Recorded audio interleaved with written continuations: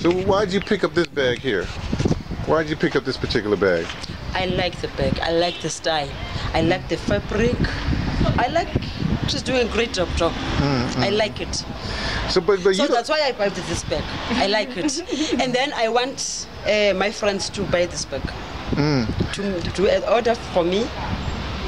And then I come together, together. Uh, please, I want the bags. There's orders for you. I want the bags. I thank you. so man. that's why I bought this bag. Nah, I like it.